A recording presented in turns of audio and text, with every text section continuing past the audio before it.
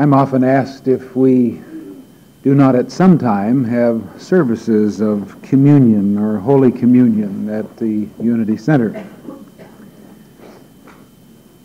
It would be so easy, and perhaps in a way it is, uh, it is prevalent, to have the kind of response to this question that comes out of an attitude of superiority by kind of rolling one's eyes and saying, oh, we're above all that. In truth, we don't deal with symbology or ritual in our metaphysical approach.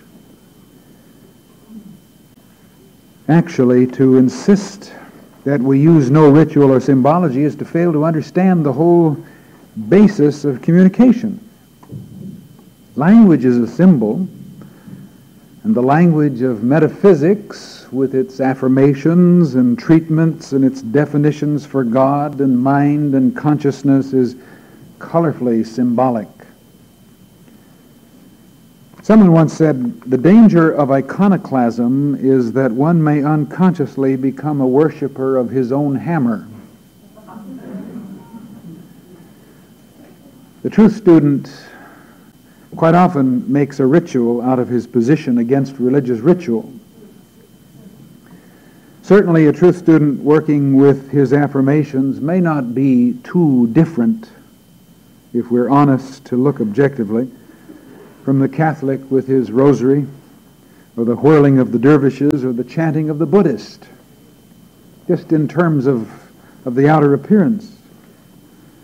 Now, it's true that religions sometimes become so immersed in symbolism that the symbols and the ritual overshadows the meanings that in the beginning they were intended to represent. For a symbol is, is like a signpost. It's supposed to direct one's thought or attention somewhere. In the use, the frequent use of symbols and of ritual, there's a tendency to forget that the sign is pointing to somewhere and just kind of worship the pointer, worship the sign. And most that we have in religious ritual and symbology has this kind of a origin. A man is created in the image of God. This is one of the most beautiful ideals of the scriptures. So in a sense, Man is a symbol of God. Jesus said, He that hath seen me hath seen the Father. He wasn't talking to himself as a special representation of God, but wherever you see a person, you see that which God hath wrought. You see God in manifestation. So when we understand this, then even as sound ritual is symbolic action, so man's acts and dealings with other people are his most important ritual. In that sense, all life should be sacred. We should practice the presence of God not just at times and in certain needs, but all the time and on all occasions. One's religion should not be only for observance on Sunday or special holy days. It should be active every day, every hour, every minute. The problem with religious ritual and symbolic worship is that it is normally done at special times, in special places, by special agents, in special ways, and only for special people.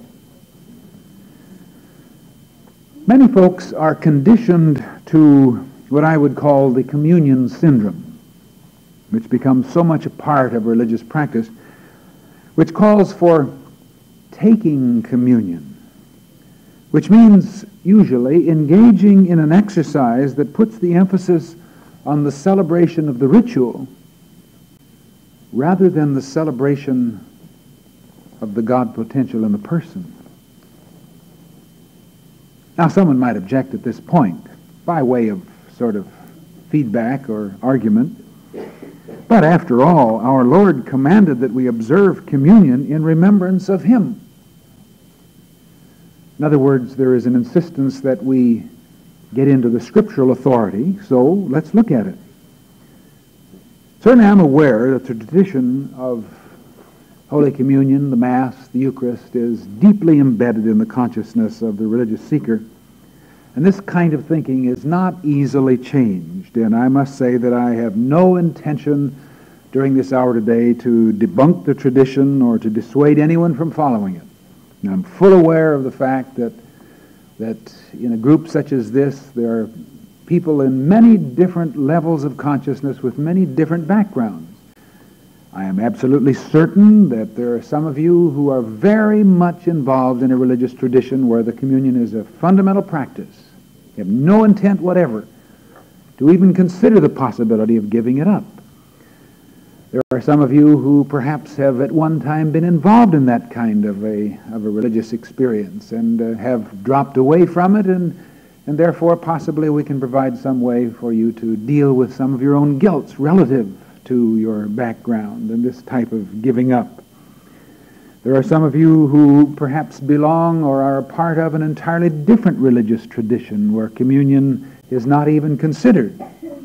And there are some of you who probably in terms of your own background that brought you to this place are agnostic and even atheist. That's the kind of peculiar and unique sort of community of consciousness that comes together in a meeting such as this. Now, I would simply like to begin with the idea that the communion service, no matter how it is partaken of and in what particular uh, variation within the Christian tradition, is a beautiful symbology, and it can be experienced in a beautifully sincere and meaningful way. Certainly it can, as all traditions and symbolisms can. It can be observed out of holy habit, out of a sense of obligation, even out of a sense of fear, in which case it becomes self-pretense and self-delusion. I'm a student of metaphysics. And so by nature, I'm inclined to search for inner meanings and to try to get a transcendent view of things. And so I have two recourses in dealing with this idea of the Holy Communion.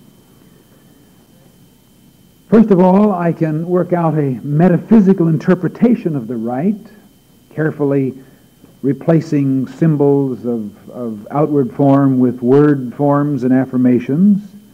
And thus I can, I can evolve and develop and present a regular service of spiritual communion on a more transcendent level, just substituting some truth words as the substance to partake of through affirmations and so forth.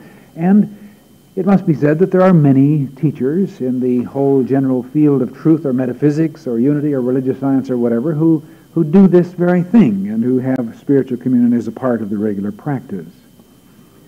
The second recourse, which I find available to me, is to eliminate the ritual altogether as being, for me, irrelevant, sometimes even misleading, but to try to understand in consciousness that which the ritual may have been intended to be a signpost for. In other words, to be very sure I'm not worshiping the signpost and even to decide maybe I don't need the signpost, but let me look at that which the signpost is pointing toward. If it is important, then let me get on with it and be a part of it. Now this, I guess I should say, is, has been my choice. Now there's a tendency among people involved in the Christian tradition to believe that communion or Holy Communion or the Eucharist or the Mass or whatever is a Christian tradition on which theologians and churches agree. Well, anyone who really thinks that's true has certainly been locked into a narrow approach to Christianity because there's a wide spectrum of belief on what communion is, what substances should be used, whether whether the wine should be mixed or diluted, or whether it should be simply grape juice, or whether the bread should be leavened or unleavened, and who is authorized to administer the communion, and to whom it can be administered, and how often it should be administered, and where it should be administered, etc. So I say, because there is such a wide latitude of opinion, then there must be room for another opinion. The opinion as to its validity in the first place, or even whether Jesus ever intended to establish an institution for perpetual observance when he ate the Passover with his disciples. For you see, there is one point that one rarely ever comes across within the family of Christianity and in just the general consideration of religious tradition, how conveniently it is overlooked that Jesus and his disciples were Jews and were good Jews, all reared in the synagogue, trained in the traditions and the observances of Judaism. This is conveniently overlooked, and understandably so. But it's important when we try to understand the evolution of this idea of Holy Communion. Because, first of all, Jesus clearly states that he has no intention of breaking away from his religious past, which was Judaism, to found a new religion. In other words, he had no intent of establishing Christianity. It has come about as a result of the followers who wanted to, to get into the kind of consciousness that Jesus was dealing with. Said, I came not to destroy the law, but to fulfill it. And though we give all sorts of religious and metaphysical interpretations of what he's talking about, in the scripture, the word law is the Torah. And it's important that we know that. The ancient Jewish scriptures, his whole idea was not to break them down, debunk them, destroy them, but to give new relevance to them, to the whole tradition, to put religion into the present tense. Whereas the teachers and the preachers of the past had been involved in looking back to the day of Abraham, the day of, of uh, Jacob, the day of Isaac, the day of Joseph, etc., the day of Moses. He was saying all these things back there are true, but there are truths that are relevant to you. Ye have heard it said of old, but I say unto you. And in every case, he was dealing with the now, bringing religion into the present tense for a present experience.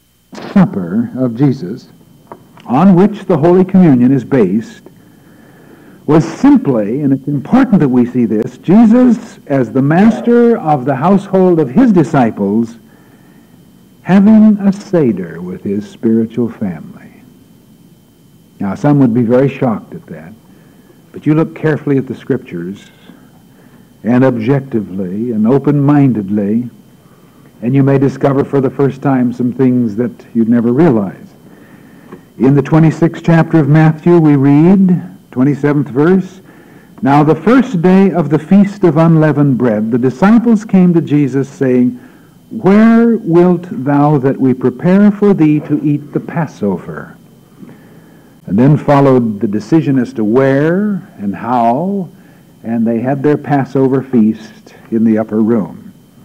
So on that occasion that has been widely pictured by so many artists, especially the classic work of Leonardo da Vinci, we see Jesus doing what every master of a family in Jerusalem was doing at that very time with his own family, Jesus doing it with his spiritual family.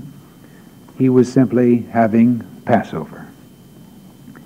Now, the authority for the rite of communion, or the Eucharist, is based on the gospel account of Jesus having this Passover with the disciples. So we go to the Gospels and we search them and uh, we find that the reference to this upper room experience is found in all four of the Gospels Matthew, Mark, Luke, and John. So it's obvious there's a unanimous feeling that, that they were there. In Matthew is the account of Jesus giving bread and wine, no intimation at all that it is to be forever after commemorated. In Mark, the same words, still no indication that is to be remembered perpetually.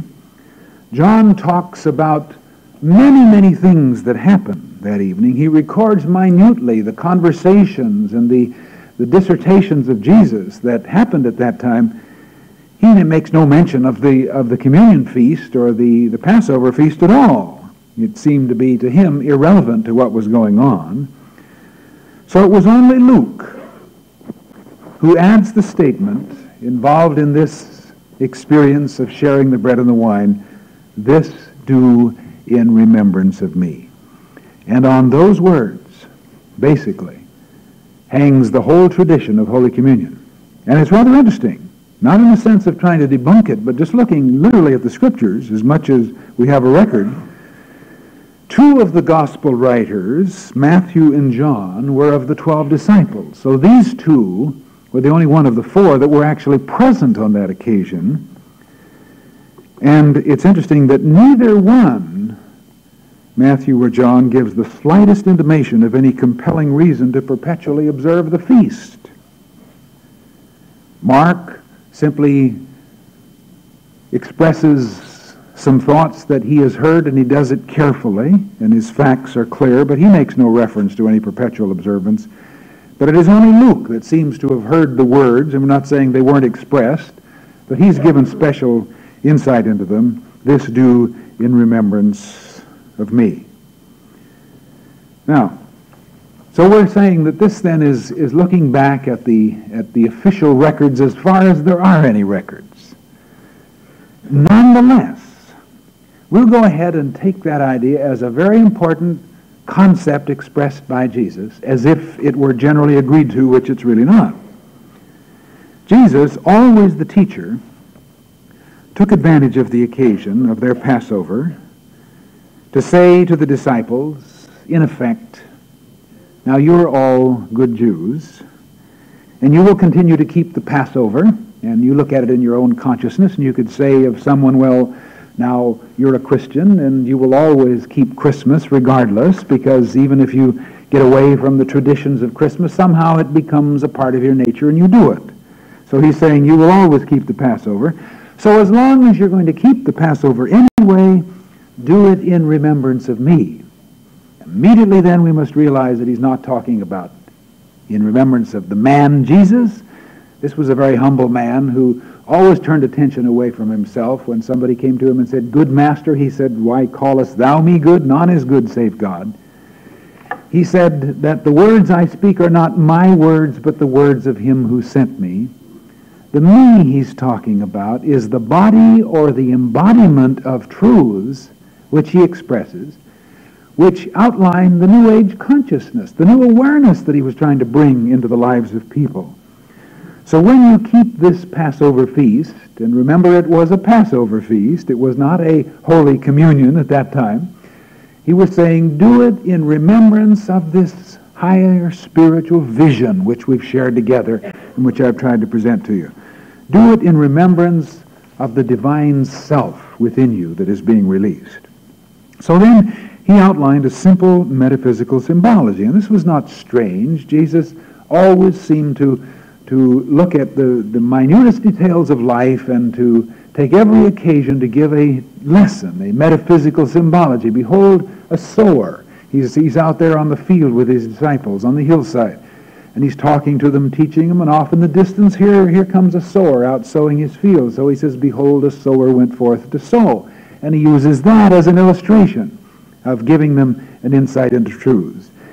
So he's saying, here you have, here you have the bread and the wine. And so he's giving this insight and referring to the bread as his body and the wine as his blood. But again, we want to remember that he did not at this time institute, the word that is so often given, institute the Lord's Supper as something special. He did not say, now let's start a new tradition and we'll get bread and we'll get wine. This is exactly the materials, the essences, the substance that were used in the Passover. That the bread and the wine were the customary food when the master of the feast would break the bread and bless it and pass around a communion chalice of wine. Not one thing was added for this Lord's Supper. Actually, the symbol of the bread as his flesh and the wine as his blood he used before because it was a beautiful teaching symbol. When he talked to the people of Capernaum, as recorded in 6th chapter of John, Except ye eat the flesh of the Son of Man and drink his blood, ye have no life in you. And these are words that are quite often caught up in the tradition of Holy Communion. But when the people complained on that occasion that they didn't understand, he added that he was not intending to literally suggest eating his flesh, but he was referring to the need to live by the words of truth that he had expressed, to get into the consciousness and assimilate the words and get into the flow of life. And on that same occasion, he closed his discourse with the statement, The flesh profiteth nothing. The words I speak to you, they are spirit and they are life. So immediately turning attention away from, from any sort of literal use of this symbology. So Jesus was saying to the disciples, in effect, while the Passover celebrates the deliverance of the Israelites from the bondage in Egypt, you are living now, today. Celebrate this new experience in remembrance of your own release from human consciousness and your freedom to evolve into the divine creatures that you are. Then it becomes a meaningful experience. Now, it, it's important, I think, in defense of those who, who keep the, the, the Holy Communion experience, that Jesus doesn't tell the disciples to stop observing the Passover. It was a Jewish tradition, and as Jews they would be free to keep it, and certainly should keep it if this is where their consciousness was. Nor did he make any change, basically, in the manner of keeping it. Certainly Paul, whose words are, are used as the authority of so much Christian tradition, makes no mention of any change. As a matter of fact, Paul says something that if it were accepted literally, as so many of his things are accepted, it would take the ground out from under the, the Mass and the communion as a church ritual. Because Paul says that the supper, talking about the Lord's Supper is the way he referred to it, which is the basis for communion, should not be eaten in congregations. So those who feel that the scriptural authority stands behind Holy Communion certainly conveniently overlook Paul's emphatic word when he says, and I quote, When you come together in one place, this is not to eat the Lord's Supper. Have you not houses to eat and drink in? In other words, he is saying something that, that any Jew would recognize. He's saying, you should have your Seder at home. Now again, this is Paul, whose words have been used as the basis and as the authority for so much of the tradition. Now I know that many of you, as a result of your background in, in Christianity and certainly in, in Judaism, have been conditioned to accept an idea of that is usually referred to as atonement. This is a word that, that is universally applied. To the Christian, there's the idea of the vicarious atonement, which is one of the, the doctrines of Christianity that, that, uh, that causes the, the open-minded Jewish person to kind of separate from the flow for a moment because he can't quite accept this. And this idea of the vicarious atonement, I might say parenthetically and purely expressing my own feeling, is what I sometimes call the hideous dogma of Jesus as the sacrificial lamb whose blood was shed for all to take away the sins of the world. And this is a tradition that has come out of theological evolution throughout all time. But you see, even this was built on the old Jewish concept of atonement in which sins can only be remitted by sacrifice and those of you who are scholars of the Old Testament or have even waded through the these and thous of the Old Testament are well aware that in the early times the sacrifice of atonement was a blood sacrifice. And sometimes the temples ran with streams of blood pouring from the altar because that was the way it was done in those days. And some of the prophets of the Old Testament trying to get a new awareness and bogged down by the terrible odor and so forth and the sounds of of dying rams in the, in the temple, complained about this and tried to bring a new consciousness into it. But of course, traditions die uh, very slowly. And much of this was a pagan superstition that antedates even Judaism and Christianity and was originally a sacrifice of human flesh. And many of you perhaps would be shocked at that, but if you go back and read the story of Abraham and how he went up onto the mountain and expressed his complete willingness to sacrifice his own son on the altar. This reflects that this was, at that time at least, still a prevalent tradition, which gradually faded away as other traditions took their place or at least were modified.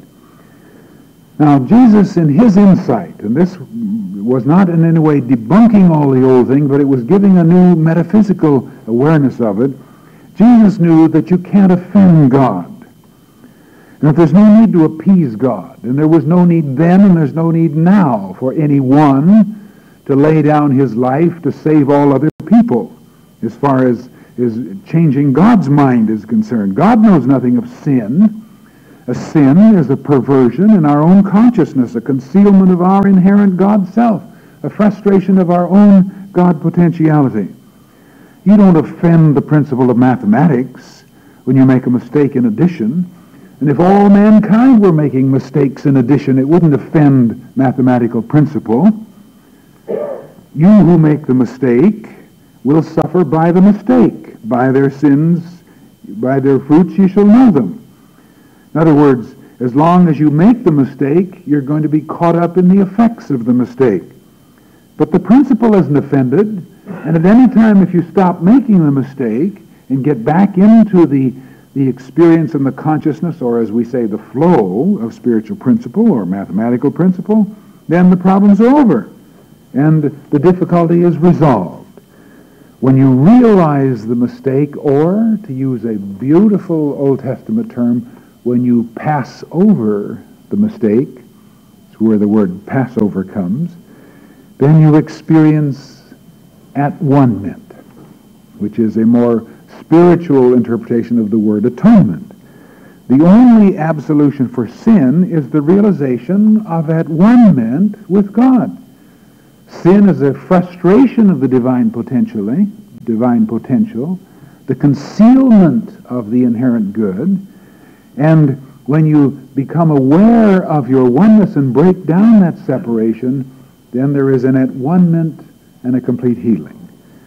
Communion, as truly all prayer or meditation, is intended basically to be an experience of at-one-ment not to get God's attention, not to barter with God, not to atone for our sins, but to bring us back into an awareness of oneness. The word atonement is often used, and I think that this is misleading because it implies making something up to God. It implies saying God is hurt, God is angry, God is holding this against you, so you've got to do something to make his feelings right toward you. Well, my feeling is, and I think this is squared as you look carefully at the teaching of Jesus, that if you're going to wait to make to change God's attitude toward you, you're going to wait a long time. Because as I often say, in a shocking sense, God's mind is made up. Because it is absolute. You cannot in any way cause the principle of mathematics to change its inexorable function just because you'd like to somehow make up for making mistakes in arithmetic. Stop making the mistakes. Get out of the sense of limitation and let the process work. And in a way, this is what religion should be and what it was always in the beginning intended to be. The word religion comes from the root religio, which literally means to bind together. That's all. Not to go through all sorts of of magic and uh, emotions and all sorts of symbolic worship practices, but to bind together. And all of these things originally were intended as signposts to help to bring the person into an awareness of oneness. How easily we get trapped in ritual and symbology for its own sake, forgetting that the original purpose was to break down separation and to help the person to expand his awareness, not to cause God to change his awareness, but to help the person to expand his awareness and to get the sense, the feeling, the belief, the conviction of wholeness or common union, communion. Paul says, For he is our peace, who hath made both one and hath broken down the middle wall of partition. When we lose our sense of oneness, it is as though a wall is built between ourselves and the infinite and between ourselves and people. We become alienated. We become lost. This is the story of Jesus' beautiful storytelling, Junius, the prodigal son. Out in the far country, lost his sense of oneness, and therefore comes to no want in every area, in every experience. Communication is broken. The flow is blocked. We become fearful and indecisive and lonely and frustrated. We know bitterness and envy and jealousy and all the many, many ramifications of this negative experience until the wall is pulled down, or to use Jesus' symbology in the parable of the prodigal son, until we come to ourself and decide to arise and go unto the Father to get into the awareness of wholeness, common union, or communion. So the true communion, and if we want to carry the other tradition along with us, the true insight in the Passover is an experience of sharing where we dissolve the barriers. And fundamental, I think, in this is the truth that God hasn't gone anywhere. You know, we sometimes feel, oh, where, oh, where is God? How long, how long before I can become aware of God? Oh, that I might find him. Where is God? God hasn't gone anywhere, and he never will. You may remember the story of a man and his wife who are riding along in the car. She's sitting way over by the door, and he's driving the car, you know, and getting as close to the door on the other side as he can. And the wife is, she goes along very quietly, and suddenly she looks ahead and sees a car in front with a couple of lovers, and they're snuggled so close together that you can hardly tell it's two people. And so she says, just look at that. How we've grown apart. We used to sit like that. And the husband blurted out, I haven't moved.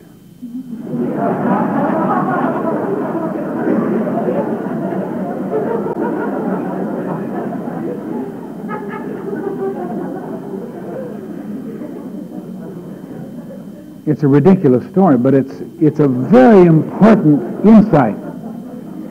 Because you see, most persons in their approach to religion have a feeling that worship and the practice of any kind of ritualistic tradition is to get God's ear. He's busy somewhere else. He's mad at me. I must appease him. I must somehow solicit his aid. I must somehow try to get his will working for me. God hasn't gone anywhere. He is that which he always has been, the omnipresent, omniactive force at the heart and root of all the universe, which is expressing itself where you are as you, and remains now as it always has been, world without end, the divine potential within you. And there's no way, shape, or form, regardless of what religion you are, what practice you involve yourself in, there's no way that you can change that. And I love that thought of Teilhard de Chardin, that, that Catholic priest paleontologist whose insights have been so great in, in the modern time, coming out of, of one who began through the whole process of tradition and made his way through to a whole new insight of a new age. And he says in his book, The, the Divine Milieu, we come to a point where there is no place to bow down and worship him, not even within ourselves. Because there's nothing to worship. There's nothing to bow down to. There's nothing to reach for. There's no one to reach. This doesn't mean there's no God, but it means that God is all. And I am an expression of that all, you see. So God hasn't changed. He hasn't gone anywhere. So the communion, the ritual, the symbology, whatever it is, it should be carefully understood, is not or should not be intended to do anything to God or to change His will or to bring Him closer to us. But it should basically be a means, simple or profound, of helping us to wake up, to remember who we are, and to experience ourselves in the depths of ourselves where there is always and can never be anything else but oneness wholeness, common union. So the outer practice of communion is to awaken to the insight of the reality of common union. It's not that maybe someday I will be one with God. And this sense of communion is not God is there and I'm here and maybe we can talk together in the way in which we think of communion. But it's communion in terms of realizing, as Jesus puts it, I and the Father are one. Not two, not two people who understand one another, but one. I and the Father are one. God is the very reality of me. And I am expressing that in various levels of consciousness. So you see, the important thing is that, that when we understand this, that our practice is to enter into the awareness of oneness. It is a sharing consciousness. It's a feeling of wholeness in God, in the fullness of our innate nature, leading to a projection of oneness with all people.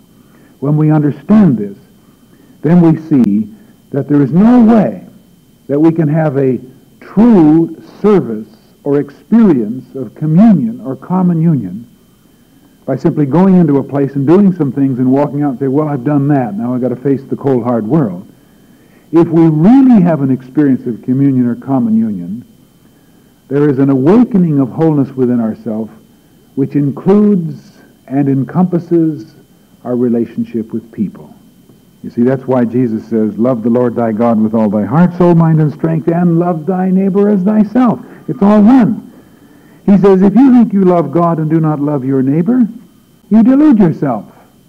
If you think you can commune with God and really have that sense of common union and not at the same time become aware of the activity of God expressing in you and around you and in and through all of your relationships with people and the whole world in which you live, then you delude yourself. It's not something taken out of the context of life's experience, but it is expanding the awareness of life's experience at its deepest level, knowing that in truth we are one. I'm one with you, you're one with me. In a human sense, we, we feel alienation, we have fears, we have prejudices. And so we act at the surface of our life. But when we get into the consciousness of communion or common union, the deeper we go into ourself, the deeper and the more meaningful becomes the realization that I am one with all persons and all persons are one with me. So it is a natural corollary, or the other side of the coin, that out of an experience of communion, whether it be done through ritual or symbology or just through prayer and meditation, should come the sense of holding hands, the feeling of oneness with people, you see. Now this is very important, I think, to realize that every time you pray or experience a meditation, you're having a communion. Or at least this is what it's all about. Not going through some kind of motions that is attracting the attention of God, but you're letting go of your barriers, enter into the inner chamber and close the door. Jesus says, And the Father who seeth in secret shall reward thee openly.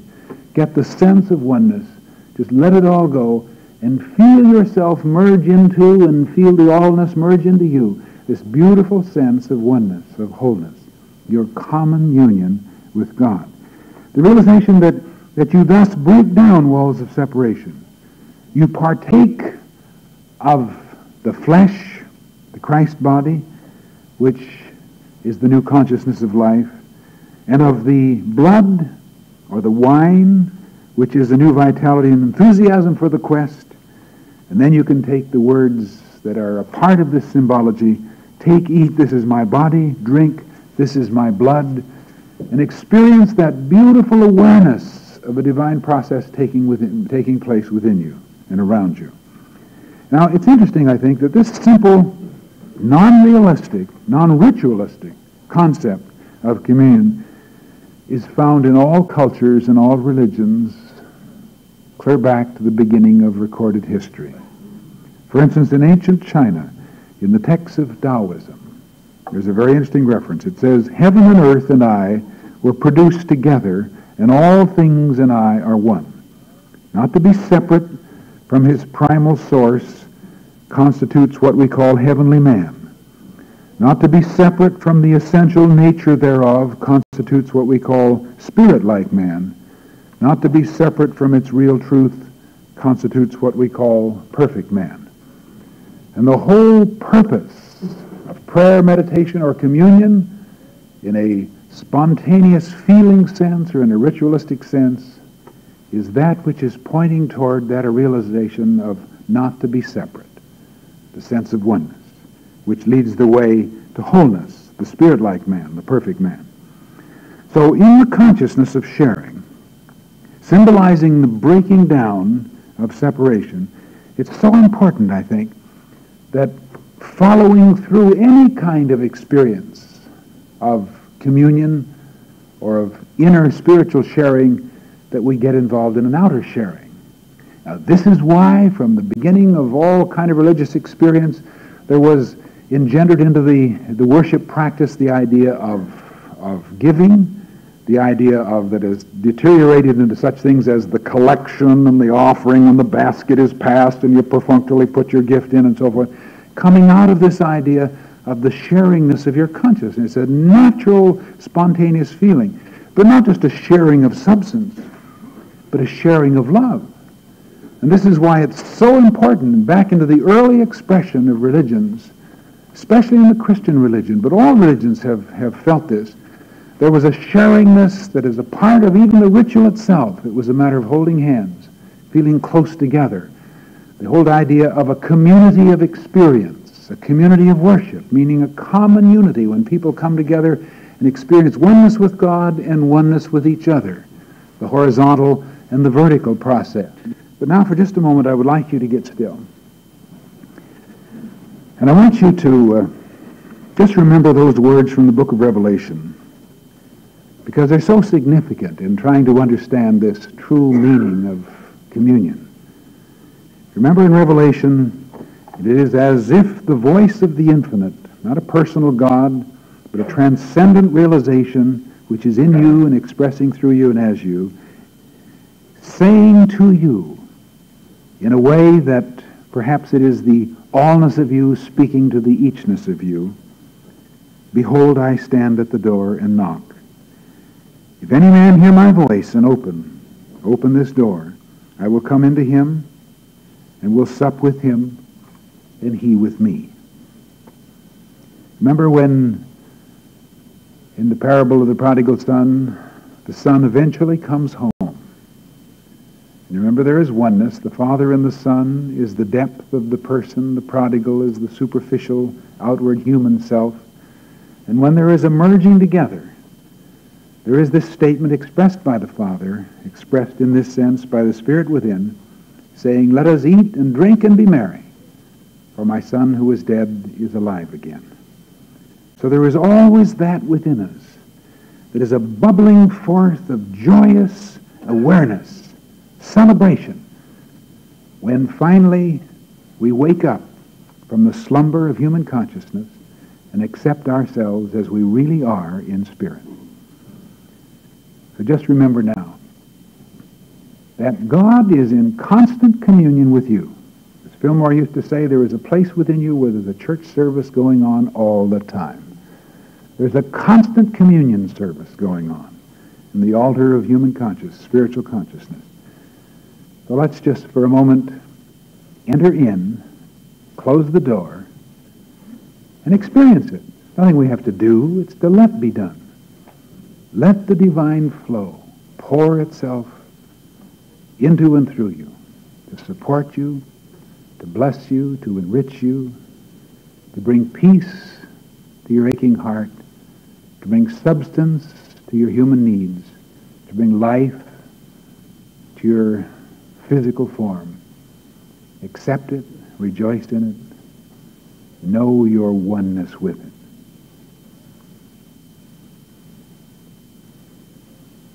And we give thanks for this. Amen.